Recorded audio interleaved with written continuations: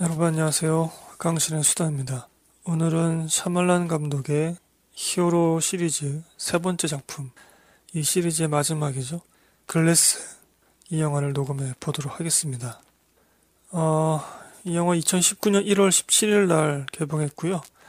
녹음하는 기준으로 저번 주에 개봉했었고 129분입니다. 2시간이 훌쩍 넘어가는데 어, 개인적으로는 재밌게 봤기 때문에 길게 느껴지지는 않았던 것 같습니다. 15세 관람가이고요. 폭력적인 게 좀 있어서 관람가가 높은 것 같습니다. 스크린은 최대 837개까지 달렸었고요. 그런데 스크린이 계속 줄어들고 있습니다. 뭐 상영 점유율, 자석 판매율 전부 다 줄어들고 있고요. 평일이라서 주중이라서 좀 줄어든 것도 있겠지만 어, 네, 하여튼 보실 분들은 빨리 보시면 좋을 것 같고요. 한국에서는 37만 명 현재 기록하고 있는데 이게 박스오피스 지금 3위 기록입니다. 나쁘지는 않아요. 그리고 생각보다는 뭐 흥행사가 괜찮은데 제 생각에는 이게 오래 갈 것 같지는 않습니다. 네, 보실 분들 빨리 보시기 바라고요. 어, 이게 미국에서도 지금 초반에 흥행을 기록하고 있습니다. 검색해 보시면 아마 1등으로 나올 거예요. 1등이긴 하지만 뭐 매출액이 그렇게 크진 않다 뭐 이런 말도 있긴 한데 워낙 제작비가 그렇게 많이 들어가지 않았기 때문에 뭐 이 정도면 제작사 입장에서는 괜찮은 거겠죠. 미국과 한국 모두 흥행을 하고 있다. 오랜만에 샤말란 영화에 사무엘 잭슨과 또 브루스 윌리스가 나왔고 또 이 히어로 시리즈의 마무리이기 때문에 더더욱 좀 화제를 낳고 있는 거 아닌가 싶습니다. 제가 지금 목소리가 좀 많이 안 좋죠. 음, 저번 녹음 편에서도 그랬는데 이번에도 좀 안 좋네요. 그래서 여러분 청취하시기에 좀 불편하실 것 같은데 양해 부탁드리고요. 어, 제가 이거를 원고를 썼습니다. 이 시리즈는 전부 원고를 쓰지 않았나요, 제가? 원고를 쓰고 녹음을 하는데 원고가 10페이지가 나왔어요. 아, 이거 어떻게 하면 좋습니까? 좀 굉장히 시간이 오래 걸릴 것 같고 이게 이렇게 길게 얘기할 영화는 아니거든요. 우리 청취자분들이 굉장히 좀 지루해 하실 것 같아요. 계속해서 제가 욕심을 버리지를 못하겠더라고요. 그래서 어제 밤에도 최종적으로 다시 한번 검수를 해봤는데도 이게 안 되겠더라고요. 그래서 오늘 좀 분량이 많아질 것 같고 굉장히 지루한 방송편이 될 것 같습니다. 미리 양해를 부탁드리고요. 하지만 최대한 이 시리즈 혹은 이 영화의 감정선 혹은 정서적인 흐름 이것을 전작들과 더불어서 좀 짚어가면서 녹음을 해 보도록 하겠습니다. 이 시리즈를 좋아하신 분들이나 전작들을 즐겨 보신 분들은 그래도 조금이나마 좀 음, 공감을 하면서 들으실 수 있지 않을까. 네 그런 기대를 좀 해보고요. 아 이렇게 방송편 긴 거를 제가 싫어해서 저 이런 거 안 듣거든요 이렇게 길면. 큰일이네요. 저희가 NG 171편으로 23 아이덴티 티를 녹음했습니다. 그때 저희 방송편 부제는 상처 입은 자를 향한 끔찍한 위로였고요 NG 177편 언브레이커브를 녹음했습니다. 그때의 부제는 정서가 살아있는 샤말란식 히어로물 시리즈 시작 이렇게 되어 있네요. 원래 순서로는 언브레이커블이 먼저 개봉했고 한참 뒤에 이제 23 아이덴티가 개봉했었는데 전 녹음을 거꾸로 했었죠. 23 아이덴티를 먼저 녹음했고 순번이 더 앞서 있죠. 171편. 어, 이 방송편들을 먼저 청취를 하시고 영화를 보러 가시거나 중요한 뼈대, 뭐 정서적 흐름, 캐릭터 성격 이런 것들이 다 이어지고 있습니다. 뭐 물론 우리가 뭐 어벤져스나 뭐 마블의 속편들 이런 거 봐도 그런 것들이 이어지고 있지만 어, 이 영화 글래스는 전작들과 좀 더 강한 유대를 갖고 있다. 좀 더 강하게 이어지고 있다. 좀 그런 말씀을 드리고 싶네요. 음, 이게 호불호가 갈리는 부분이기도 할 것 같습니다. 음, 저희가 이 시리즈의 전작들도 녹음했었다. 이런 말씀 드리고요. 오늘 방송편은 스포일러를 좀 하겠습니다. 전반적으로도 스포일러 하지만 그 결말의 반전 이런 것들도 좀 해설 해설이라 그러면 좀 그렇고 제 나름대로의 해석을 해야 하기 때문에 제가 방송 중에도 언급하겠습니다만 강한 스포일러 하는 부분은 좀 띄어서 점프해서 청취하시면 될 것 같습니다.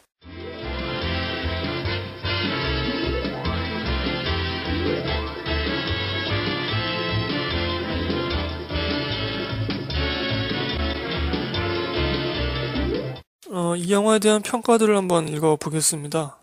전문가 평들 중에서 임수연 씨는 10점 가운데 5점을 주면서 야심은 대단한데 동하지 않는 세계관이다. 이렇게 써주셨네요. 마음이 동하지 않는다? 뭐 이런 평가이죠.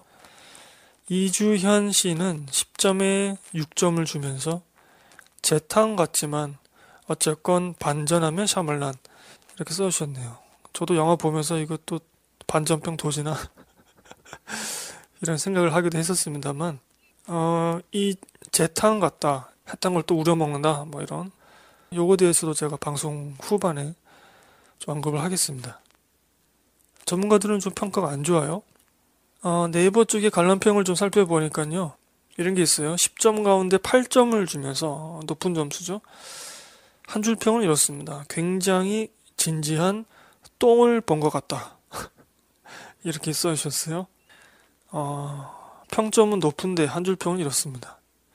그 뭔가 이 영화를 좋게 본 사람 마음에서도 이 두 가지 느낌이 지금 충돌하고 있는 게 아닌가 싶기도 하네요. 저희 청취자 에너한 닉슨 님도 어, 아주 따끈따끈하게 평가를 써주셨는데요. 얼마 전에 보시고 영화의 반전이자 마무리가 10분 동의가 되면서 감탄이 들 정도로 좋았다. 제임스 맥어보이의 연기가 매우 좋았다. 이렇게 써주셨습니다. 에너닉스님은 좋게 보신 거죠? 이 영화 각본과 연출은 엠나이트 샤말란이 맡았고요. 음악은 웨스트 딜런 톨슨이라고 점작이었던 23 아이덴티의 음악도 맡은 분입니다. 그래서 음악의 느낌이 좀 유사한 게 있어요. 좀 장중한 곡이 나옵니다. 이 영화에서도 글래스에서도 제임스 맥어버이 그 부분에서 나왔던가? 근데 음악도 좀 괜찮았다고 생각이 들어요. 그래서 어떤 분들은 또 너무 음악으로 먹고 들어가려고 한 게 아니냐 또 이런 비판도 있긴 합니다. 연기자들 언급해 보면요, 제임스 맥어보이가 케빈 웬델 크롬을 연기했습니다. 하지만 그 밖에 23개의 인격들을 연기를 하는데 이 영화 속에서 모두 다 나온 건 아니고요. 23 아이덴티티에서 나오지 않았던 인격들이 좀 이번에는 나왔던 것 같아요. 그리고 주요 인격들도 뭐 패트리샤, 뭐 비스트 뭐 이러한 인격들은 계속해서 나오고 있고요. 그러니까 뭐 순식간에 그 인격이 바뀌는 연기를 합니다. 제가 지금 이렇게 녹음을 하고 있다가 갑자기 제2의 인격으로 그런 목소리로 녹음을 하고 또 제3의 인격으로 또 바뀌고 뭐 이런 식인 거죠.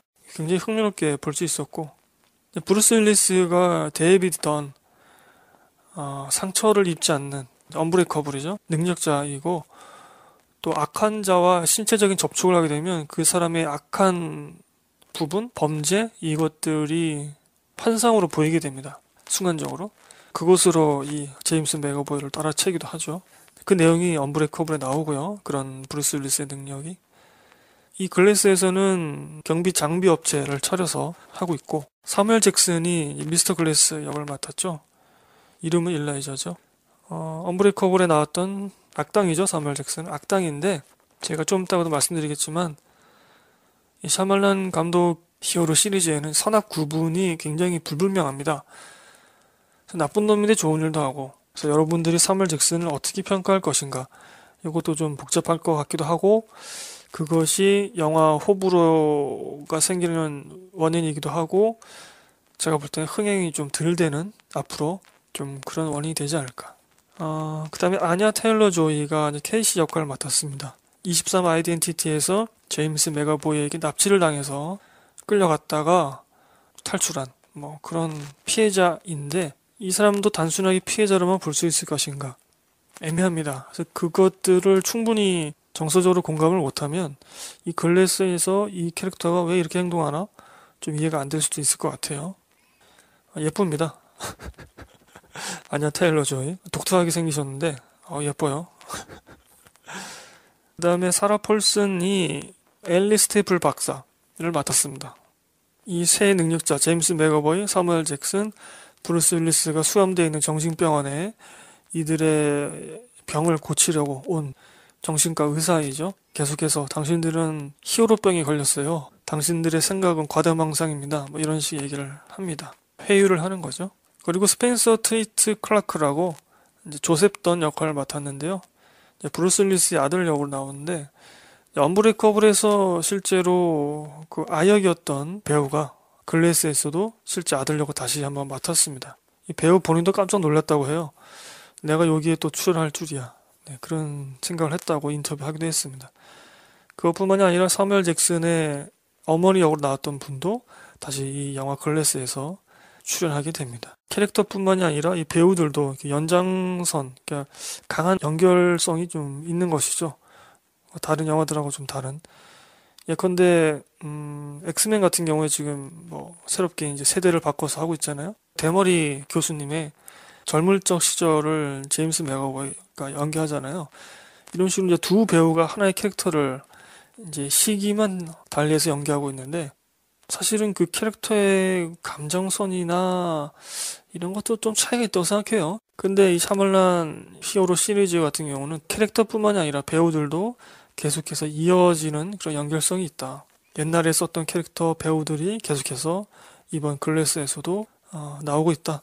그런 말씀 드릴 수 있겠습니다. 자, 이제 본격적으로 들어가 보겠습니다. 제가 원고를, 아유, 이거 10페이지짜리를 읽을 텐데요. 좀 말투가 이상하게 변해도, 네, 저의 제2의 인격이 나오는 거죠. 말투가 이상하게 변해도 여러분 좀 이해해 주시길 바랍니다. 일단 전체적인 평가를 한번 해 보도록 하죠. 어, 이 영화 저는 재밌게 보았고 울컥한 부분도 있었습니다. 워낙 시리즈의 전작인 언브레이커블과 23 아이덴티티에 대한 애정이 있었기 때문인데요. 개인적으로 캐릭터에 몰입을 잘 하지 못하는 편인데 평소에는 어, 이런 전작에 대한 애정 때문에 이 영화 글래스에 나오는 캐릭터에는 몰입을 꽤 할 수 있었습니다. 그래서 브루스 윌리스하고 제임스 맥어보이가 등장하는 장면과 서로 만나게 되는 장면 그런 장면에서 모두 설레면서 보았고요. 반대로 전작들을 보지 못했거나 어, 봤더라도 그다지 좋게 평가하지 않는 분이라면 이 영화 글래스도 뭐 그리 크게 재밌게 보지는 못할 것 같아요. 어, 마블류 히어로물처럼 초현실적인 능력을 발휘하는 캐릭터도 없고 보는 사람에 따라서는 결말이 좀 애매모호하다 그렇게 느낄 여지도 있, 있거든요. 즉 캐릭터와 이야기 모두 전형적인 영웅물 공식에서 벗어나 있습니다. 히어로물 특유의 쾌감이 적어요. 물론 이 영화는 전작들과 달리 장르적 재미를 영화 초반부터 크게 보여주려고 합니다. 또한 전작을 보지 못한 관객을 위해서 대사와 화면으로 전작에서 이어지는 부분을 친절히 설명해 주기도 합니다. 전작을 보지 못한 분들을 위한 뭐 서비스 컷이죠. 쉽게 말하면. 어, 결국은 샤멀란 감독의 독특한 세계관에 얼마나 젖어들 수 있는지가 관건이 될 것 같습니다. 방송으로 계속 말씀드리겠지만 표면의 장르적 재미와 이면의 정서적 흐름을 독립적으로 만들어 가거나 이제 선악 경계가 모호한 점 이런 좀 그 세계가 좀 독특하거든요. 그것도 싫다면 그냥 캐릭터나 배우 연기에 집중하면 좋을 것 같습니다. 브루스 윌리스가 노년의 진지한 내면 연기도 보여주고 제임스 맥어보이가 말 그대로 여러 인격을 한 장면에서 연이어 보여주기도 하거든요. 어, 서멀 잭슨의 그 넉나간 연기도 볼만했고요. 음, 영화 속에서 그런 장면 나오는군요. 그 남자 간호사가 손전등을 그 휠체어에 앉아 있는 사무엘 잭슨 다리에다 떨어뜨리려고 하면서 이제 위협을 합니다. 내가 이걸 떨어뜨리면 이 뼈는 부러지겠지? 뭐 이런 식의 얘기를 해요. 그 손전등에 좀 무게가 좀 있긴 하나 봐요. 어우, 뭐, 저게 뭐 큰 위협이 되나? 뭐 이렇게 생각을 하실 수 있는데, 네, 사무엘 잭슨에게는 위협이 됩니다.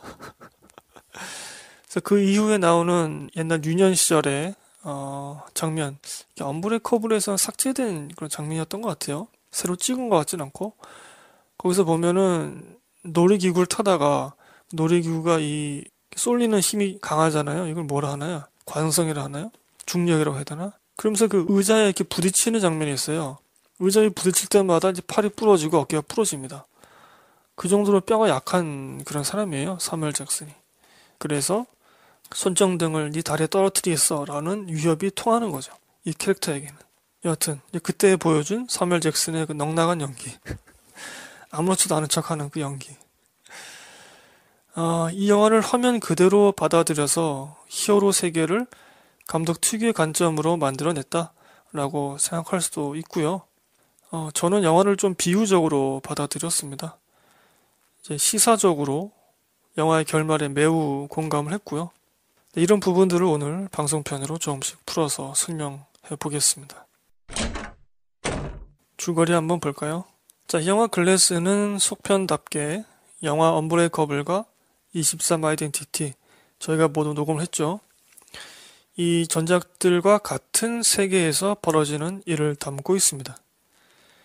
영화 23 아이덴티티 속 사건이 일어난 지 3주간 지난 시간대에서 영화 글래스는 시작하는 거죠. 그래서 음, 곧장 이어지는 느낌 그런 것도 좀 있습니다. 어, 배우 아냐 테일러 조이가 연기한 캐릭터 케이시가 납치범이자 다중인격체인 케빈, 즉 배우 제임스 맥어보이가 연기한 캐릭터로부터 탈출한 그런 사건이 이제 23 아이덴티티죠.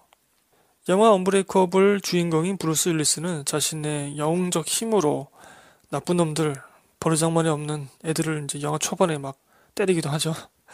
그런 나쁜 놈들을 혼내주기도 하면서 바로 그 납치범 제임스 맥어보이를 찾으려고 합니다.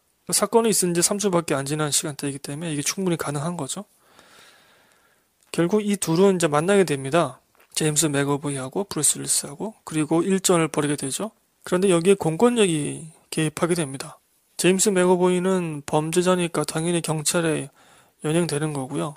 납치를 해서 살해를 하고 했으니까.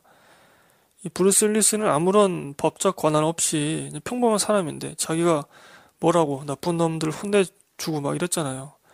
그러면서 그 사람들을 폭행하고 상해한 그 죄목이 붙어서 경찰에 연행이 되죠.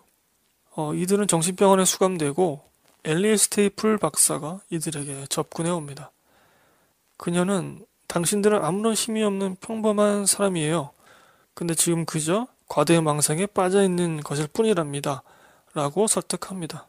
이 둘은 스스로를 의심하는 동안 영화 언브레이커블에서 나온 악당 미스터 글래스 사무엘 잭슨이 같은 정신병원에서 음모를 꾸미기 시작합니다.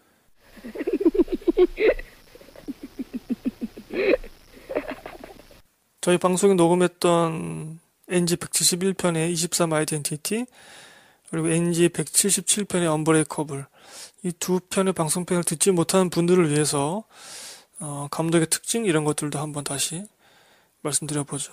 방금 언급한 그 두 편의 영화와 그리고 샤말란 감독의 99년작 식스센스 이 영화들까지 관통하는 특징은 샤말란 감독의 특징은 영화의 표면과 이면이 다른 호흡을 갖고 있다는 것입니다. 바로 표면의 장르적 재미와 이면의 정서적 흐름인데요. 샤말란 감독의 이 영화들은 이면의 정서적 흐름이 매우 뛰어나죠. 이 정서적 흐름은 독립적이면서도 표면과 연관돼서 흘러갑니다. 일단 그 정서적 흐름의 독립성을 본다면 영화 속의 정서가 표면에 나타나는 장르성이 무심한 듯하게 무관한 듯하게 조성이 됩니다. 그 정서가 유령 영화인데 가정의 화목함을 제시하거나 히어로물인데 자아의 실존을 묻기도 하고 납치물인데 학대의 피해자를 위로하죠. 그 납치의 피해자가 아니라 학대의 피해자를 위로하죠. 그래서 자칫 이 정서적 흐름을 관객이 놓칠 가능성이 크고 표면과 이면이 달라 보이니까 그리고 표면의 장르성이 오히려 훼손되는 것처럼 장르적인 재미가 없는 것처럼 느껴질 때도 있습니다. 쉽게 말하면 영화 자체가 별 재미없다고 느껴지는 거죠. 일반 영화는 이야기나 캐릭터 또는 메시지를 위해서 정서가 부수적으로 활용됩니다. 정서가 그저 도구의 위치에 머무는 거죠. 그러나 샤말란의 이 영화들은 명백하게 독립적으로 정서가 기승전결의 과정을 거치면서 만들어집니다. 흥미롭게도 영화의 가장 큰 클라이막스에서는 항상 이 표면의 장르성과 이면의 정서가 뒤섞여서 폭발합니다. 유령의 정체가 드러나는 장면과 가정을 제대로 살피지 못했다는 후회감 그리고 그, 그 아역에 있어서도 그런 게 나오긴 하거든요. 제가 언젠가 좀 식스센스를 한번 정서공감으로 녹음을 하겠습니다. 그리고 어, 자아의 정체성을 드러내면서 타인에게 그 존재로서 인정받는 장면, 납치해서 해방되면서 상처에서도 해방되는 장면 등이 바로 이 표면의 장물성과 이면의 정서가 화학적으로 폭발하는 그러한 부분이죠. 그러니까 원고를 쓰다 보니까 오늘 녹음할 글래스까지 모두 이 정서적 흐름의 밑바탕은 화목한 가정인 것 같더라고요. 여하튼 샤말란 감독의 영화는 이처럼 표면의 장르적 재미와 이면의 정서적 흐름을 독립적으로 그리고 함께 살펴봐야 영화를 더 재밌게 즐길 수 있습니다. 앞서 녹음편인 언브레이커블 편과 23 아이덴티티 편에서도 이미 말씀드린 것처럼 샤말란 감독의 히어로물 시리즈는 선과 악의 경계가 모호합니다. 그 이유를 영화 글래스는 더 큰 악한 세력이 존재하기 때문이라고 말하죠. 그러니까 얘네보다 더 악해 뭐 이런 애들이기 때문에 상대적으로 보면 좀 선하게 볼 수도 있는 일종의 착시 뭐 그렇게 볼 수 있는 거죠. 그러나 저는 그 이유가 선과 악의 경계가 모호한 이유가 이 정서적 흐름에 있다고 생각합니다. 순수하게 악하기만 한 캐릭터는 관객의 정서를 이끌어낼 수 없거든요. 최소한 연민의 정서라도 이끌어내기 위해서 선과 악의 경계를 일부러 모호하게 만드는 거죠. 이 탓에 어쩌면 윤리적인 비판을 받을 수도 있습니다. 또한 강력한 악을 응징하는 맛을 느끼기 어려운 장르적 단점이 생기게 되는 거죠. 어, 이면의 정서적 흐름을 제대로 전달하기 위해서 카메라는 최대한 컷을 나누지 않고 큰 움직임을 별로 갖지 않습니다.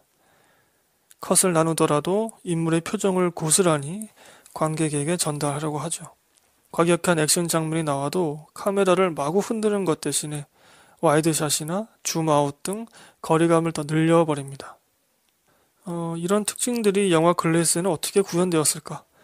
결론적으로 말씀드리면 이면의 정서가 후퇴한 대신에 표면의 장르성은 더 크게 나타났다고 생각합니다. 영화 초반 10분, 20분을 전작들과 비교 대조하자면 영화 글래스는 설명이 더 친절해졌고 장르적인 장면들이 더 풍부해졌으나 이면의 정서적 흐름을 새롭게 조성하는 작업을 하지 않습니다. 관객 취향에 따라 약간 김이 빠지는 반전 장면, 선과 악의 경계가 모호한 점, 그리고 카메라 활용 방식 등은 이전작들과 같다고 생각하고요. 따라서 어, 전작들과 달리 더 장르적 재미와 대중성을 가지려 했다고 생각합니다. 그래서 아, 흥행하는 건가요, 지금? 하지만 이 영화가 앞으로 더 흥행할지는 좀 회의적입니다. 하여튼 어, 청취자 여러분은 이면의 정석 흐름이 어떻게 작동하는지 굳이 살펴볼 필요 없이 이 영화 글래스는 그냥 마음 놓고 화면 표면에 나오는 장르적 재미에 집중하면 될 것 같습니다. 오늘 방송편은 지금까지 말씀드린 것을 발판으로 조금 더 확장해서 녹음을 해보죠. 네, 이제 3페이지 들어가네요. 네. 어, 정서와 캐릭터에 대해서 캐릭터별로 나눠서 좀 설명을 좀 해보겠습니다. 이 부분이 좀 긴데요. 어, 앞서 이 영화 글래스는 시리즈의 전작들과 달리 이면의 정서가 후퇴했다고 말씀드렸습니다. 새로운 정서를 만들어 제시하지 않죠. 어쩌면 시리즈의 마지막 작품이니 당연한 결과인지도 모르겠습니다. 장르적 재미에 더 치중한 결과인 거죠. 저는 감독 특유의 장기가 한 번 더 발동되어서 새롭게 정서적 공감이 되길 원했기 때문에 이 부분에는 약간 실망했습니다. 그렇다고 이 영화의 정서가 아예 없느냐? 그건 또 아닌데요. 영화 글래스는 새롭게 정서를 구축하는 대신에 전작인 언브레이커블과 23 아이덴티티에서 이미 완성시킨 캐릭터의 정서와 관계성을 다시 활용합니다. 마치 고기 구운 냄새가 한껏 밴 외투를 다시 한번 입고 외출한 것과 같습니다. 따라서 전작들을, 특히 전작들의 정서적 흐름을 주의 깊게 보지 못한 관객은 살짝 혼란을 겪을 수도 있을 것 같습니다. 물론 영화는 초반에 과거에 어떤 정서와 관계성이 있었는지 어, 회상신이나 대사 등을 통해 친절히 설명을 하긴 하죠. 음, 이미 영화를 본 분들에게는 지루하겠으나 다시 한번 이 영화 속 각 캐릭터의 정서와 관계성을 설명해 보도록 하죠. 네, 여기가 상당히 지루합니다. 브루스 윌리스 캐릭터부터 시작해 보죠. 브루스 윌리스와 그 아들은 단순한 부자 관계가 아닙니다. 일종의 동지 관계입니다. 언브레이커블에서 아버지 브루스 윌리스는 아들의 호기심 어린 장난 때문에 처음으로 자신에게 특별한 힘이 있는 것 같다고 깨닫게 됩니다. 바로 이제 역기 드는 장면, 이제 bench pressing 그 장면이죠. 영화 글래스에서도 한두 번 정도 언급되고 이제 비슷한 장면까지 나오죠. 그래서 여러분 엄브레커블에서 이런 게 있었어요라고 감독이 상기를 시켜주는 거죠. 친절하게. 어, 아들은 아버지가 히어로임을 증명하기 위해서 언브레이커블에서 아버지에게 총을 쏘려고까지 했죠. 계속해서 아들은 아버지 스스로 히어로임을 인정하도록 했습니다. 이건 내 아버지가 영웅이길 바라는 아들의 소원이기도 했죠. 결국에 브루스 윌리스가 히어로로서 강도와 싸운 다음 날 아침 신문을 아들에게 쓱 내밀면서 네 말이 맞았어 라고 속삭이죠. 네 말대로 나는 영웅이었어. 나에겐 특별한 힘이 있었어. 라는 거죠. 브루스 윌리스가 사무엘 잭슨을 제외하고 유일하게 타인에게 자신의 정체를 밝힌 순간입니다. 그 아들만 사무엘 잭슨을 제외하면 아들만 브루스 윌리스의 정체를 알고 있어요. 그 장면에서 아들은 그런 아버지를 보고 울먹이죠. 브루스 윌리스는 엄마가 놀랄 수도 있으니 울지 말라고 또는 엄마에게 말하지 말라고 들키지 말라고 손가락을 입에 갖다 대죠. 이 장면은 영화 글래스 결말에 아들이 아버지를 회상하면서 삽입된 장면이기도 합니다. 아버지는 자신의 정체가 타인에게 알려지길 원치 않았습니다. 이건 아들도 잘 알고 있죠. 어, 이 부분은 이제 아내와도 브루스 윌리스의 아내와도 연관되는 부분인데요. 언브레이커블에서 음, 이런 얘기가 나오죠. 과거 이제 차 사고가 났을 때 부상당한 척하고 미식 축구를 포기해서 아내와 결혼했기 때문에 아내와도 좀 연결되는 부분입니다. 이걸 좀 설명드릴게요. 아내를 사랑했기 때문에 자신의 꿈, 미식 축구를 하는 거를 포기한 겁니다. 어, 사지 멀쩡한 남편이 자기 때문에 꿈을 포기했었고 그 후유증이 지금껏 이어져 왔다는 거, 그 내용이 엄브레쿠르에 나오죠. 그런 후유증이 이어져 왔다는 걸 아내가 안다면 얼마나 마음을 아파할까요? 브루스 윌리스는 그런 일이 일어나질 원치 않았던 겁니다. 그래서 그 아들에게 조용히 하라고 들키면 안 된다고 이렇게 했던 그 장면이었던 거죠. 그러나 영화 글래스에서 아내는 병으로 몇 년 전 죽었다고 설명이 됩니다. 그래서 그러한 우려가 이제 사라진 것이죠. 그래서 온라인 공개를 할 수 있는 영화 결말이 나올 수 있게 됐습니다.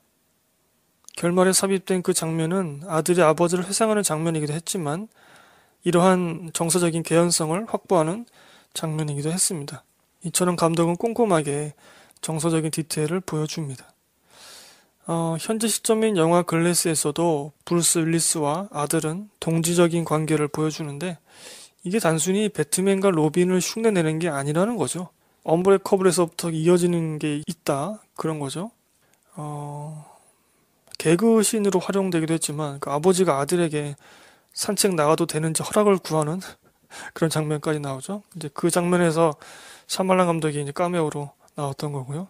마치 아들이 아버지를 학대하는 것처럼 그렇게 오해할 수 있는 또 그 오해로 개그를 주는 장면이 있었죠. 어, 그 밖에 전작에서 이어지는 점들, 이 캐릭터를 통해서 이어지는 점들을 언급하자면 영화 글래스에서 그는 아들과 함께 CCTV 등 가정집에서 쓸 수 있는 경비 장비를 파는 점포를 하고 있습니다. 언브레이커블에서 브루스 윌리스는 미식 축구 경기장 경비원이었는데 자신의 정체를 깨닫고 어느 가정을 강도로부터 구해주죠. 전작에서 첫 히어로 임무를 했던 것과 연관되기도 해서 저는 재밌었습니다. 가정집을 보호해주는 그런 직업으로 아예 전환을 한 거죠. 어, 물의 약점이라는 것도 대사가 아니라 익사할 뻔한 과거 장면으로 직접 보여주고요. 그리고 23 아이덴티티 엔딩 장면에서 브루스 윌리스가 어느 식당 TV로 비스트의 뉴스를 보죠. 이때로부터 3주 후가 영화 글래스의 시간대이기 때문에 영화에서 별도로 언급되지 않아도 브루스 윌리스가 비스트, 즉 제임스 맥어보이를 찾으려 하는 까닭을 미루어 짐작할 수 있는 거죠. 그리고 영화 속에서 이제 그 오사카 빌딩이라고 나와요. 왜 이름을 오사카라고 했을까? 생각을 해봤는데 그 다이하드 원에서 그 빌딩 이름이 그 나카토미 빌딩 아니었나요? 그래서 그걸 좀 오마주 한 게 아닌가 싶기도 하고 난데없이 뭐 일본식 그런 이름이 나와서 자 이번에는 케빈과 케이시 캐릭터도 한번 살펴보죠. 23 아이덴티티에 나왔던 다중 인격체 케빈과 제임스 맥어보이가 연기한 캐릭터죠. 그리고 여자 주인공 케이시 아냐 테일러 조이가 연기한 캐릭터 이 케빈과 케이시도 독특한 관계입니다. 아냐 테일러 조이가 연기한 이 캐릭터 케이시는 23 아이덴티티의 납치의 피해자입니다. 그런데 영화 글래스에서 그녀는 정신병원으로 가해자 케빈을 면회하고 심지어 그의 손을 맞잡고 그의 선량한 인격이 나오도록 덮기까지 합니다. 왜 이럴까요? 단순히 스톡홀름 증후군인가요? 아닙니다. 제임스 맥오보이가 연기한 다주인격체 케빈은 그 케이시에게 가해자이면서도 해방자이기도 했습니다. 즉 그녀는 케빈 때문에 상처로부터 해방되었습니다. 이 내용이 영화 23 아이덴티티죠. 23 아이덴티티에서 그녀는 스스로를 공간적으로 고립시키고 사람들로부터 멀어지기 위해서 위약적인 행동을 합니다. 막 일부러 문제 일으키고 막 그래요. 그러나 영화 글래스에서 그녀는 학교 친구들이 사건 피해자, 그러니까 3주 전 시간이 이제 23 아이덴티티이기 때문에 그 사건 피해자를 구경하는 시선을 그녀에게 보내더라도 당당하게 복도를 걸어갑니다. 또한 사건이 일어났던 동물원의 로고가 새겨진 겉옷을 입고 있는 장면도 나옵니다. 보통 피해자라면 그 사건을 떠올리지 않기 위해서 사건과 연관된 그 어느 것도 거부하죠. 그녀가 그 동물원에서 뭐 아르바이트를 하는 건지 뭔지 잘 모르겠지만 중요한 거는 그녀에게 그 동물원은 납치 사건의 발생지가 아니라 자신이 새롭게 태어난 장소라는 겁니다. 해방된 장소. 그녀는 케빈에게 삼촌을 고소했다고 말하며 너도 스스로 온전한 삶으로 돌아올 수 있음을 확신시키려고 하죠. 영화는 그녀가 위탁 과정에 있다고 설명하고 그 화면까지 보여줍니다. 저희 방송편 23 아이덴티티에서 삼촌이 와 있다는 말을 들은 그녀의 마지막 표정이 매우 의미심장하다고 말씀드린 적이 있습니다. 단순히 겁에 질린 표정은 아니었어요. 삼촌은 어릴 적부터 그녀를 성폭행하고 학대한 당사자입니다. 케이시는 자신을 납치한 케빈에 의해서 상처로부터 해방되었고 그녀는 그 해방감에 단순히 머물지 않고 자신만의 행동을 취해왔던 것입니다. 이 3주 동안에. 이렇게 3주 동안에 그녀는 더욱 단단해진 거죠. 연쇄살인을 저지르는 다중인격체 케빈은 아이러니하게도 그녀에게 은인인 겁니다. 또한 동료이기도 하죠. 똑같은 학대를 당한 경험을 케빈도 갖고 있거든요. 그중 하나가 케빈의 친엄마가 케빈의 플레임을 부르면서 계단을 오르는 장면입니다. 짧게 삽입되죠. 엄마의 목소리는 매우 앙칼지고 왼쪽 손은 뜨겁게 달궈진 다리미를 들고 있습니다. 그리곤 아이 케빈의 비명이 화면을 채우죠. 어떤 일이 있었을까 상상이 되시죠? 케이시는 케빈이 자신을 해방시켰듯이 자신도 케빈을 상처로부터 해방시키고 싶었던 것 같습니다. 애초에 케빈의 다중 인격들은 케빈을 상처로부터 지키기 위한 방어 기제로 탄생한 것이었죠. 하지만 이들에 둘러싸여 있는 한 케빈은 영영 세상 밖으로 나올 수 없을 겁니다. 자신을 지키기 위해 만들었던 것들이 자신을 세상과 멀어지게 하고 있었던 거죠. 이것을 케이시는 알고 있었습니다. 자신도 똑같았으니까요. 자신을 방어하기 위해서 동물원 지하 철창 안에 숨었을 때 케빈의 또 다른 인격 비스트가 철창을 열어 젖히고 그녀에게 넌 특별해 라고 선포했던 장면을 23 아이덴티티를 보셨던 분들은 기억하실 겁니다. 이 두 영화편에서 케빈의 플레임, 즉 케빈 웬델 크롬, 이 플레임을 부르는 것이 본래자 케빈을 불러오고 악한 인격을 잠재우는 유일한 방법입니다. 이 이름은 공포를 의미합니다. 23 아이덴티에서 케빈을 상담한 정신과 의사가 이 이름 부르기를 상당히 주저했음을 기억할 수 있을 겁니다. 이 의사는 케빈에게 다시 상처 주기를 싫었던 거죠. 그 이름은 그렇게 어, 풀네임을 부르며 학대했던 어머니에 대한 기억을 소환하기 때문입니다. 그 강력한 연쇄 살인마가 고작 자신의 이름 부르기에 두려워하고 패배한다는 게 참 아이러니하죠. 이런 점이 이 시리즈의 매력입니다. 앞서 물이 브루스 윌리스의 약점인 것처럼 사람의 약점은 무슨 크립토 뭐 어쩌고 하는 광물 뭐 이런 거창한 것에서 오는 게 아니라 바로 정서적 공포로부터 오는 것이거든요. 여하튼 공포로서 활용되던 이 이름이 영화 결말에는 연민과 공감으로 활용됩니다. 단순히 악한 인격을 잠재우려는 게 아니라 정말 케빈을 살리기 위해서 케이시가 몇 번이나 간절히 그 이름을 부르죠. 케빈은 그 부름에 응답하고 다시 주체성을 갖고 세상 밖으로 나옵니다. 어, 이 케빈의 결말은 이 영화 속에서 새드 엔딩일까요? 해피 엔딩일까요? 전작들과 연결되는 부분을 글래스는 초반부터 친절히 설명해주고 있지만 케빈과 케이시 부분은 글래스만 단독으로 감상한다면 10분 공감하기 어려울 수 있습니다. 워낙 23 아이덴티티가 특이하거든요. 저는 결말에서 풀네임을 부른 케이시를 케빈이 만날 때 살짝 울컥했습니다. 조금만 더 일찍 누군가 그 이름을 이렇게 불러주었다면, 조금만 더 주체적으로 힘을 낼 수 있도록 누군가 도와줬다면, 어땠을까? 인간이 인간으로서 위대한 점은 바로 그 강력한 의지에 있는 것 같습니다. 결말에서 케빈이 그것을 조금이나마 보여주었다고 생각합니다. 어, 그 정신병원에서 이제 제임스 맥어보이를 다룰 때 왜 강한 불빛을 쏘는지 그 모르는 분 계실까요? 23 아이덴티티와 글래스에서 나오지만 각 인격이 뒤바뀌는 표현을 불빛이 않는다 혹은 불빛이 있는 그 의자에 앉는다 뭐 그런 식으로 표현을 합니다. 그 결정적 키를 헤드윅 인격이 갖고 있는 거고요. 그 어린 인격이죠. 8살짜리였던가 9살짜리였던가 이제 각 인격은 그 불빛에 앉으려 싸우기도 합니다. 영화는 이 점에 착안해서 외부에서 강력한 빛을 쏘아서 강제적으로 인격을 바꾸는 식으로 이 캐릭터를 제어합니다. 그래서 내부에 있는 불빛에 앉는 것을 그 인격이 바뀌는 것으로 표현하는데 내부의 빛이 아니라 외부의 빛을 강제로 쏴서 그 인격을 바꾸는 그런 식으로 하는 거죠. 그래서 영화는 선량한 인격이 나올 때까지 계속 불빛을 쏩니다. 어, 영화 글래스에서는 너무 말이 많다고 불빛을 쏘아대는 그런 장면이 나오기도 합니다. 자, 이제 드디어 미스터 글래스라는 별명을 갖고 있는 사무엘 잭슨 그 캐릭터를 한번 살펴보도록 하겠습니다. 사무엘 잭슨 분량이 그리 많지 않죠? 어, 장르적 재미도 주로 비스트와 그 브루스 윌리스 그 싸움신에서 나오고요. 그런데 왜 영화 제목이 그의 별명 또는 이름인 글래스일까요? 어떤 분들은 그의 계획대로 모든 일들이 진행되었기 때문에 감독이 영화 제목을 그렇게 지은 것이라고 말하기도 합니다. 충분히 일리가 있죠? 이건 제가 방송 후반에 다시 한번 설명드리고요.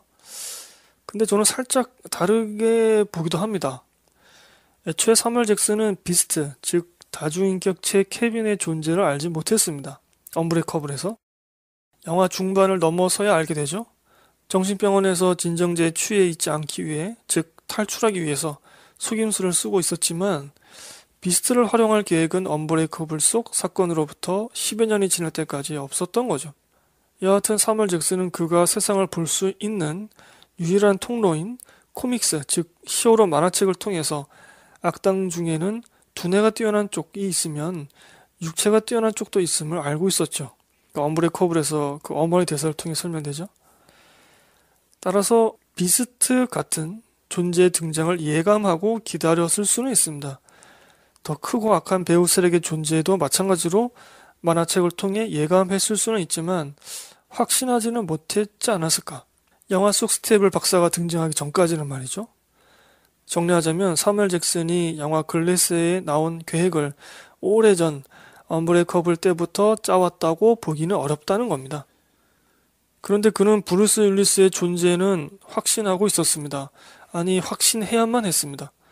자신의 존재 가치가 달린 일이니까요. 그는 브루스 윌리스 같은 존재를 찾기 위해서 계속 테러를 저질러 왔죠. 그게 언브레이커블의 내용이죠. 영웅이 될 수 없다면 악당이 될 것을 자처하고 나선 것이죠. 이 둘은 빛과 그림자 같은 존재입니다.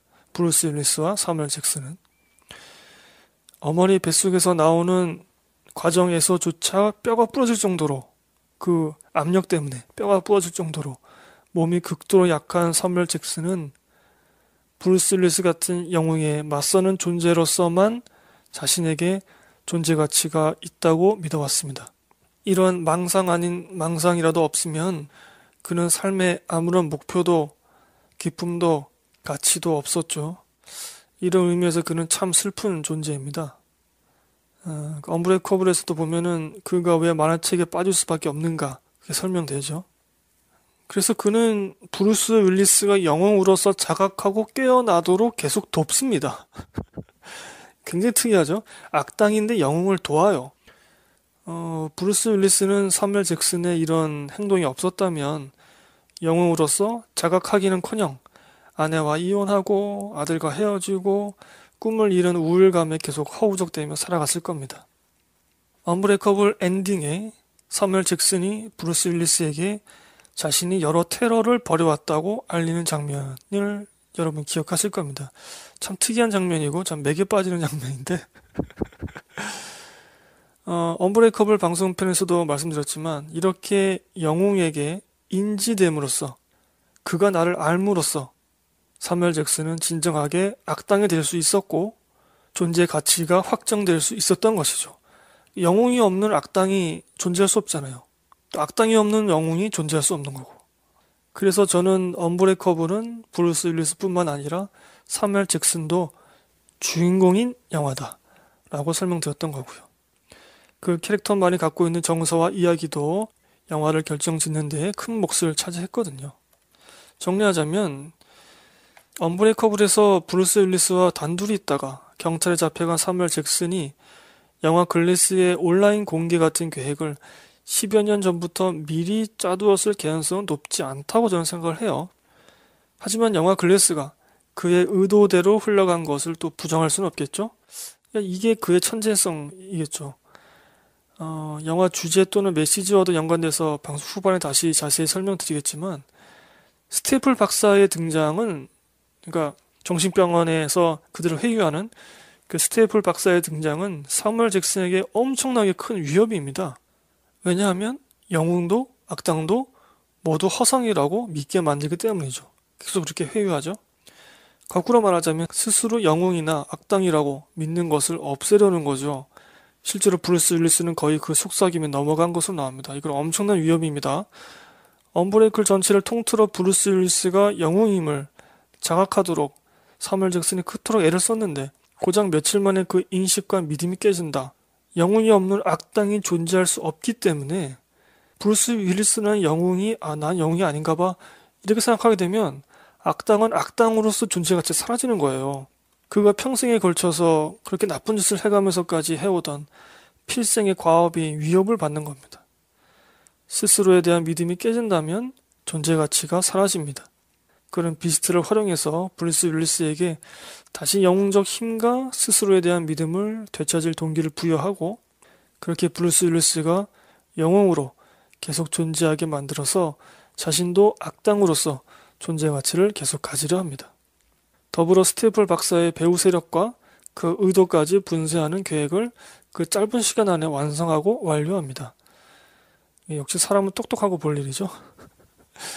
온라인 공개는 사무엘 잭슨이 언브레이커블 때부터 추구해왔던 자신의 존재 가치를 쟁취하려는 의도로 해석할 수 있다는 거죠. 생사와 상관없이 결국 영화 글래스에서 사무엘 잭슨, 즉 미스터 글래스는 악당으로서 영원한 존재 가치를 획득했으니까요. 어, 이 영화 제목 글래스는 언브레이커블에서 그가 놀림 당할 때 쓰인 별명입니다. 워낙 몸이 잘 부러지고 연약하니까 유리 몸과 같다고 해서 미스터 글래스라는 별명이 붙은 거죠. 그런데 영화 글래스에서 그는 스스로를 소개할 때 본명 대신에 이 별명을 자신의 이름이라고 말합니다. 자신의 결핍을 부끄러워하지 않고 오히려 존재 가치의 일부분으로 인정해버린 거죠. 그리고 자신이 잘 할 수 있는 일을 찾아서 성취를 이룹니다. 뭐 나쁜 일이긴 하지만. 언브레이커블, 23 아이덴티티, 글래스 이런 영화들에서 샤멀란 감독은 스스로의 강력한 의지와 믿음 그리고 주변에 진심 어린 도움이 있다면 결핍에 잡아먹히지 않고 원하던 삶을 살 수 있다는 그런 말을 이면의 정서적 흐름으로 지속적으로 관객에게 전달하고 있습니다. 물론 영화 글래스가 이 정서적 흐름이 좀 약하긴 하지만요. 자, 여기까지 어, 굉장히 지루한 설명을 드렸는데요. 요약하자면 이 영화는 전작들에서 이미 완성시켜 캐릭터에 장착한 정서와 관계성을 그대로 쓰거나 또는 서로 조합해서 활용하고 있다는 겁니다.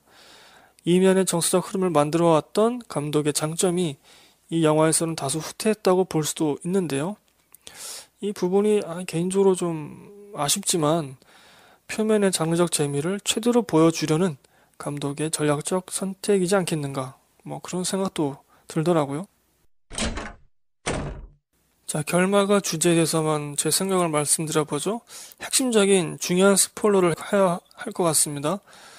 어, 스포일러 당하기 싫은 분들은 한 5분에서 10분 정도 점프하시면 되겠습니다. 일단 이 영화는 반전이라고 볼 수 있는 것들이 여러 개 나옵니다. 그 중 하나로 주인공들, 즉 브루스 윌리스, 사무엘 잭슨, 제임스 맥어보이 이 세 명이 모두 죽습니다. 다른 영웅물에 비하면 이건 대단히 큰 반전이고 매우 허무한 결말이 아닐 수 없죠. 이 사람 반전들이 다 이렇게 허무해요. 이 시리즈 보면.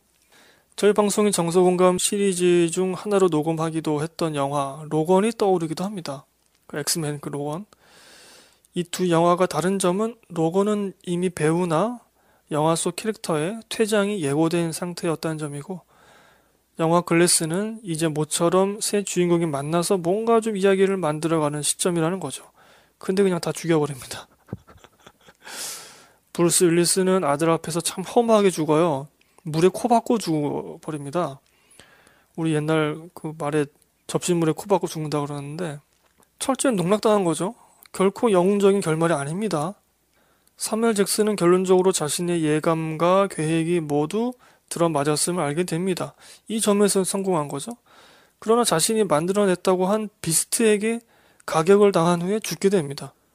비스트는 자신에게 학대를 주어서 더 진화된 존재로 만들어준 것에는 감사를 표했지만 이게 이제 왜 진화된 존재냐라는 것은 23 아이덴티에서 설명되죠.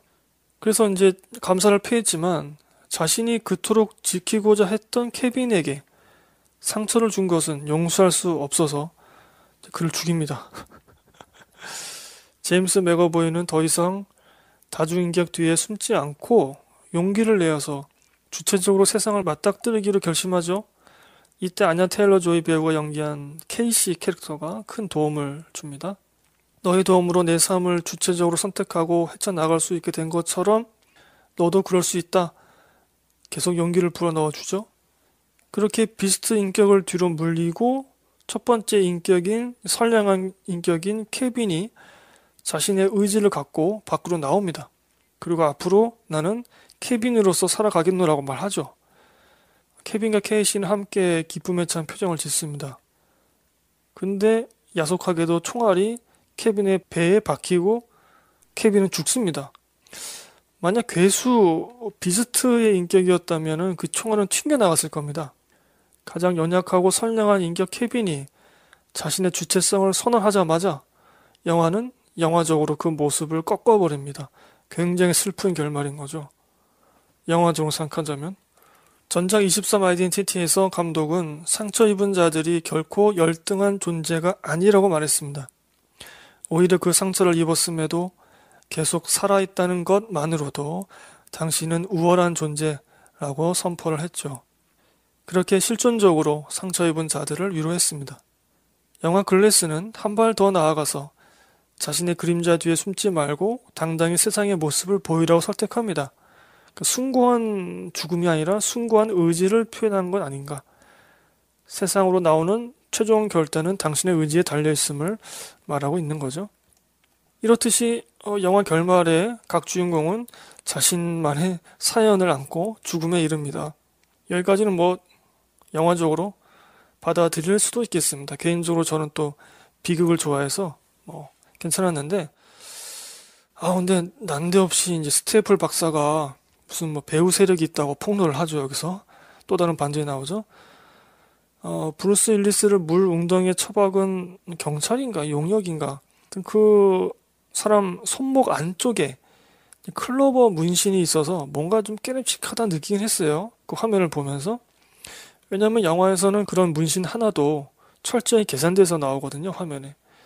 근데 스테이플 박사가 내민 손을 잡은 브루스 윌리스가 환상을 보게 되는데 이상한 집단, 즉 악한 자들의 모습을 환상으로 보게 되죠. 그런 이제 악한 자를 알아챌 수 있는 그런 능력이 있죠.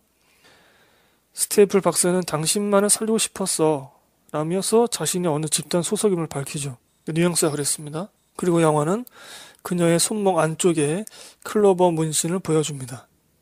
브루스 윌리스를 진압한 그 경찰인지 용역인지 하여튼 그 사람도 그리고 이 스테이플 박사도 애초에 같은 세력이었다는 거죠. 영화는 그 전까지 배우 세력이 있다는 낌새를 전혀 보여주지 않았습니다. 그래서 이것 주인공이 죽는 결말을 위해서 너무 자기적인 설정을 넣은 거 아니야? 감독이 좀 오버한 거 아니야? 이런 생각도 좀 들긴 했습니다. 아, 그런데 여기서 또 하나 반전이 나오죠? 이미 사무엘 잭슨, 즉, 미스터 글래스는 이 배후 세력의 존재를 알고 있었다는 겁니다. 그는 죽기 전에 내가 옳았어 라는 뭐 그런 비슷한 말을 합니다. 이후 펼쳐지는 장면의 나레이션과 영화 엔딩씬에서 미스터 글래스의 어머니 대사로 이 영화, 즉 이 사건은 끝이 아니라 시작이라는 식으로 설명합니다. 그 나레이션의 번역이 잘 된 것 같지는 않더라고요. 복잡하게 번역을 해놔가지고.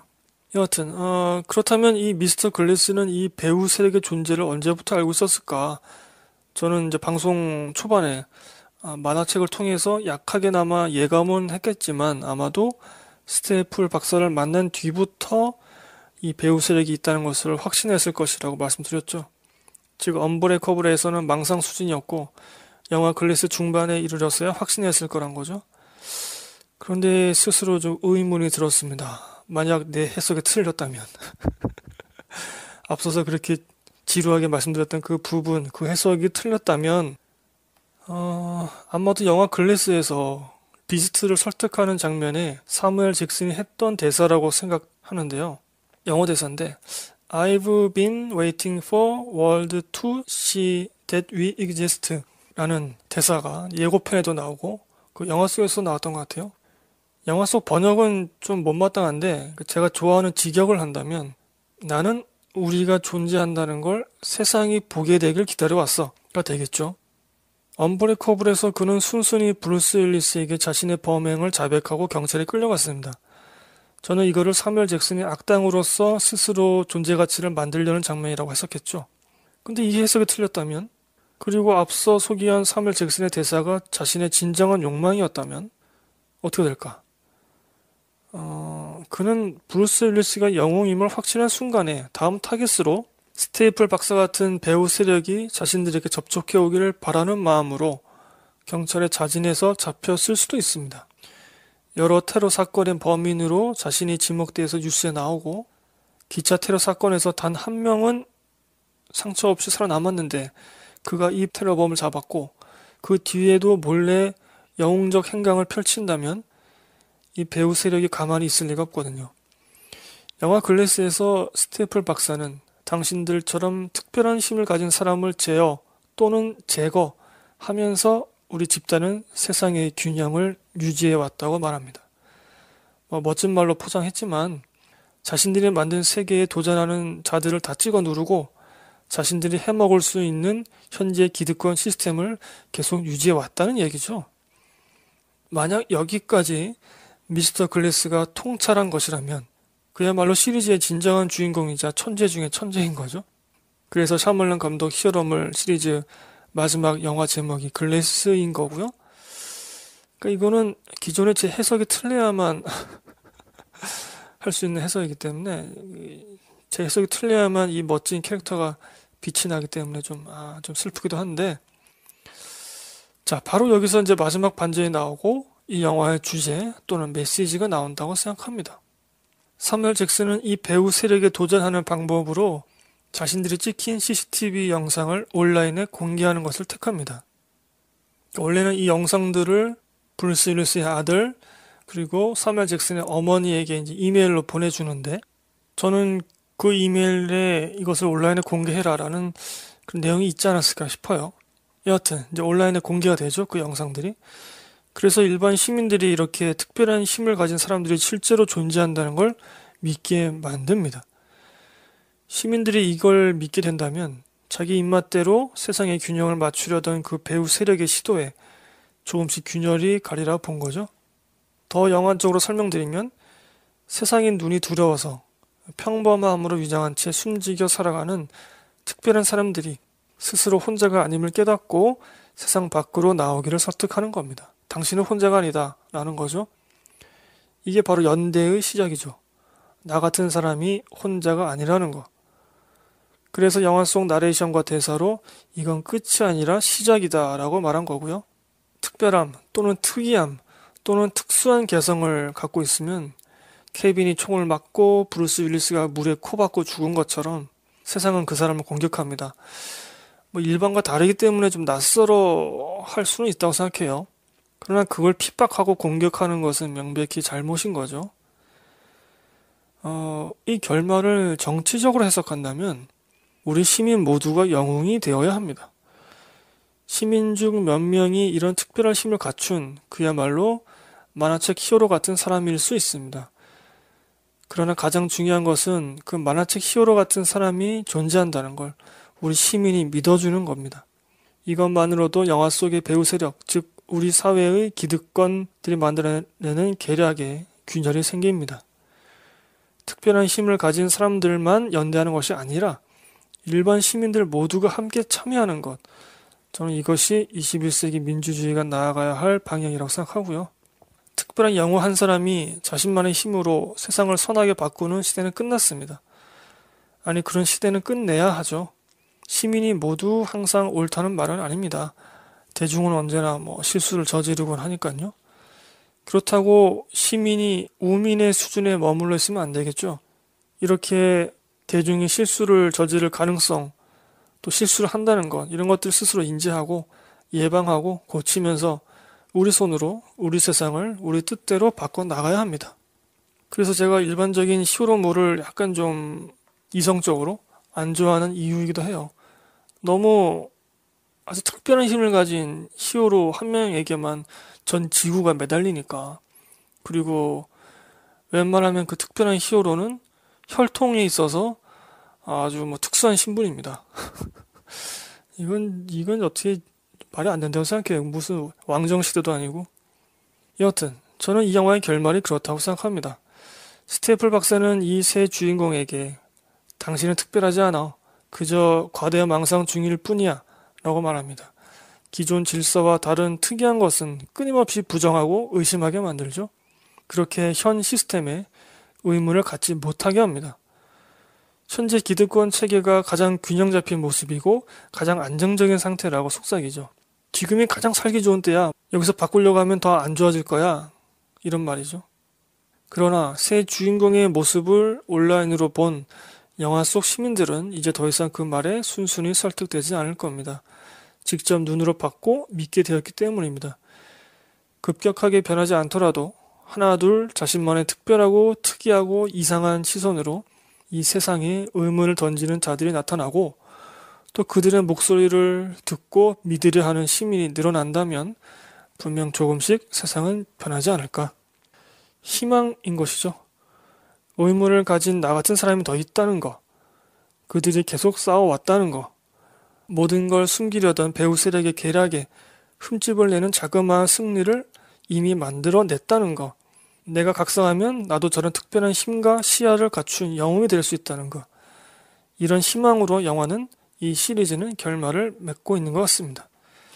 저는 이처럼 세상을 근본적으로 바꾸는 건 분노가 아니라 희망이라고 생각합니다. 자, 이렇게 어, 결말에 나타난 여러 반전을 통해서 영화의 주제를 영화적으로 또 정치적으로 한번 정리를 해 보았습니다.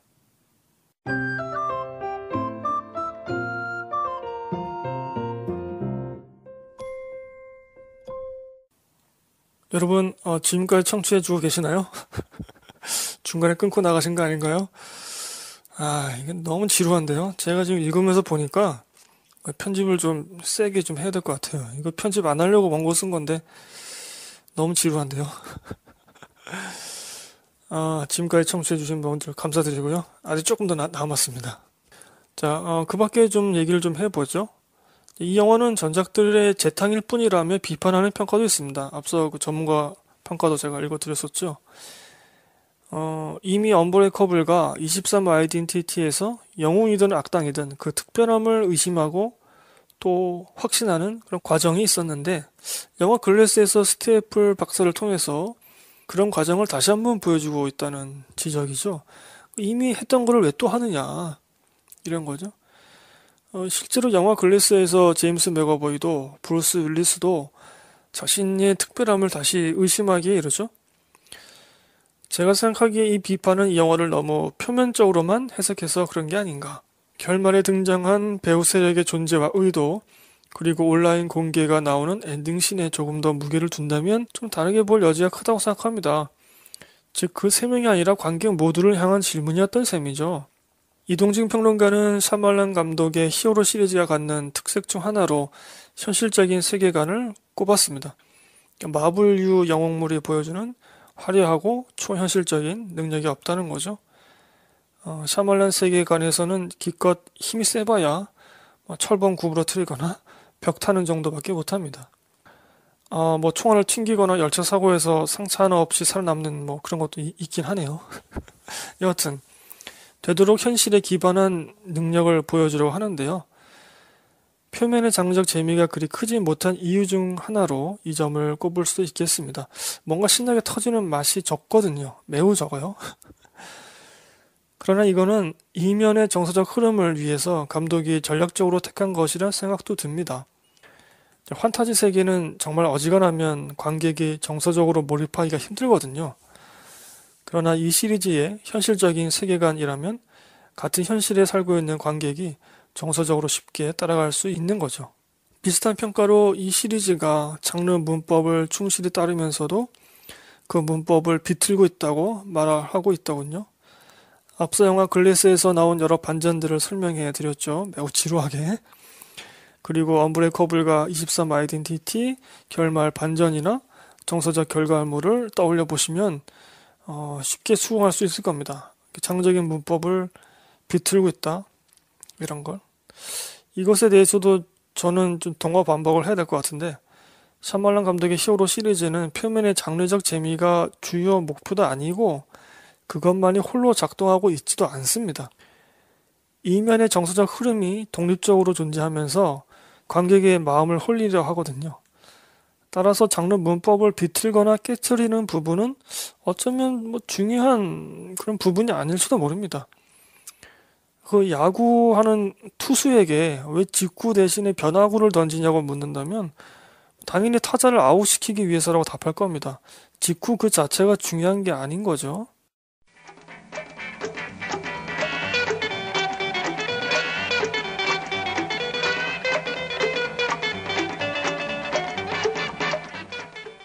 자, 총평하면서 마무리하겠습니다. 네, 여기서도 이렇게 써놨네요. 제가 원고에도 굉장히 지루하게 설명을 드린 것 같아 걱정이 듭니다.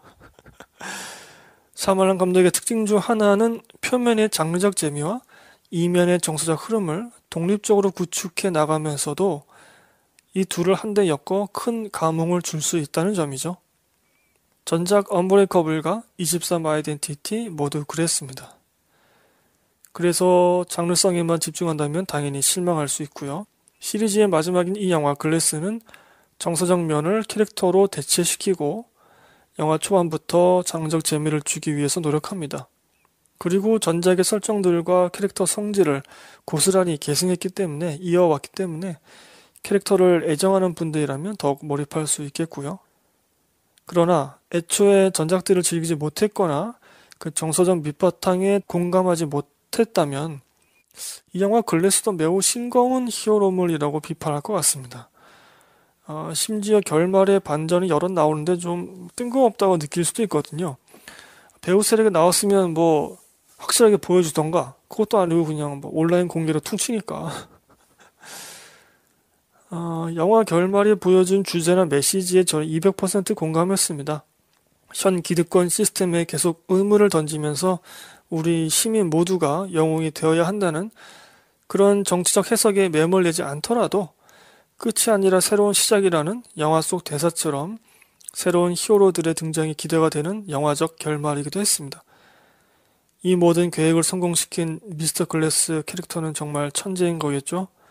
전작들에서 이어온 선악 경계가 모호한 점이 여기서 다시 발견될 수도 있습니다. 미스터 글래스는 악당인가요? 테러범인데 배후 세력에 도전한 선각자이기도 한 셈이니까요. 음, 브루스 윌리스의 아들과 납치 사건의 피해자 케이시와 사무엘 잭슨의 어머니가 남아있죠. 특히 브루스 윌리스의 아들과 케이시는 같은 고등학교 출신이라는 점을 영화 화면으로 보여주었습니다. 어쩌면 이 둘이 새로운 히어로들과 함께 새 시리즈를 엮어갈 수도 있겠죠. 근데 저는 그냥 여기서 끝냈으면 좋겠어요. 물론 예쁜 아냐 테일러 조이 배우는 계속 보고 싶습니다. 네, 계속 나오시면 감사하겠습니다만 이 시리즈는 여기서 끝나는 게 맞지 않나? 개인적으로 엔딩씬에서 브루스 윌리스의 아들이 아버지의 모습을 회상하는 장면, 즉 언브레이커블에서 정서적 폭발이 일어나는 그 아침 식탁 장면을 글래스에서 다시 보게 돼서 좋았습니다. 이 영화에서 그 엔딩씬에서 상대적으로 이 두 부자의 정서가 좀 소홀히 다뤄진 면이 있거든요. 상대적으로. 음, 하지만 그 회상 장면을 집어넣어서 좋았다. 역시 샤말란 감독 디테일하게 정서를 챙긴다. 저는 만족하면서 재밌게 봤고 나중에 VOD로 재감상하게 되면 아마 좀 다른 평이 나올 수도 있을 것 같아요. 화면을 이렇게 돌려보면서 전작들 녹음할 때는 다 VOD로 보면서 녹음했었거든요. 여하튼 뭐 여기까지 하겠습니다. 아, 예, 여러분 수고하셨습니다. 여기까지 들으시느라. 자, 저희 방송은 팟빵을 제외한 아, 쥐약과 파티와 아이튠즈와 유튜브 쪽에 업로드 되고 있습니다. 강신의 수다 검색하시면 되고요. 마찬가지로 블로그와 트위터도 강신의 수다 검색하셔서 찾아와 주시고 팔로잉 해주시면 감사하겠습니다. 어, 이제 곧 2월 영화 페이지가 올라갈 텐데요. 저희 블로그에는 청취자 여러분의 영화 감상을 댓글로 남길 수 있는 공간이 있죠. 그 댓글도 모아서 무슨 영화 보셨나요? 라는 코너로 녹음합니다. 순전히 청취자께서 만드시는 코너이기 때문에 더 많은 분들이 좀 참여해 주셨으면 하고요. 음, 그리고 그 페이지 오셔서 많은 분들이 또 청취자분들의 영화평을 참고해 주시면 되겠습니다. 어, 다음 달 2월 페이지에는, 영화 페이지에는 제가 귀로 듣는 선물을 숨겨놓겠습니다. 다음 방송편은 아마도 무슨 영화 보셨나요? 2018년 2월 편, 작년 2월 편이 되지 않을까 싶네요. 요새 애니메이션이 개봉했더라고요. 한국 영화 언더독이랑 일본 영화 미래의 미라이 예, 그 두 영화 애니메이션이 땡기는데 음, 만약에 그 전에 둘 중에 하나를 보게 된다면 그 영화를 녹음할 수도 있을 것 같아요. 자 여기서 방송 마치고요. 여러분 방송 들으시다가 뭐 좀 마음에 안 든다, 너무 길다, 너무 지루하다, 뭐 그런 평들, 느낌들 가감 없이 댓글란 쪽에 써주시면 되겠습니다. 그러면 제가 큰 도움이 됩니다. 여러분 모두 건강하시고요. 감사합니다. 안녕히 계세요.